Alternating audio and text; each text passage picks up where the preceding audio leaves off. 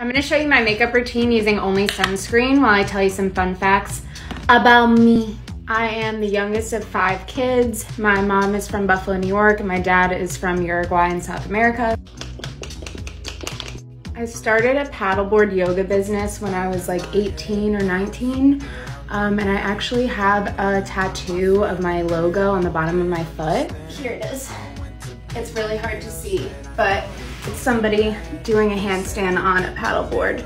And when I get pedicures, they always try to scrub it off and I'm like, you can try, go ahead. But that thing is on there for life. I also had a little business when I was 11 where I would give my grandma's friends facials for $20 each. And I would go all out. I would bring all these supplies. I would like massage their hands. Anything to make a quick buck, you know? I was pretty awkward in high school, honestly. And I had a lot of friends, but I never had a lot of like, I never had a boyfriend until I met my husband when I was 29, or when I was 21, when he was 29, and now we're married. I'm not in any way a foodie, like I'm like an eat to live kind of person, but my diet basically consists on celery juice, empanadas, and burritos.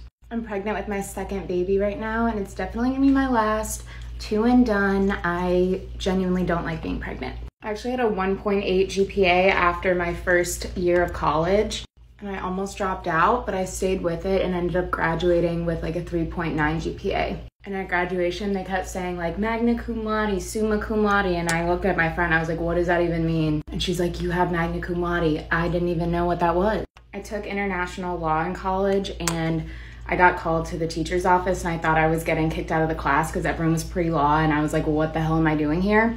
They ended up asking me to do the diplomacy program, which is like Model UN. You compete with people in New York City and you take a whole semester on it and it was the best experience of my life. Other than having my son, of course, who is my entire life.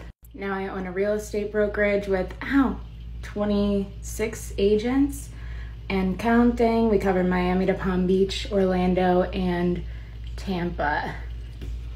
I'm also born and raised in South Florida, which to a lot of people is like a unicorn. When I say that, they're like, and I also live two streets away from the house I grew up in. I feel like I'm never gonna leave South Florida and it used to freak me out, but now I'm really grateful. Hence why I'm obsessed with sunscreen and taking care of my skin from the sun. Holy, because it is hot.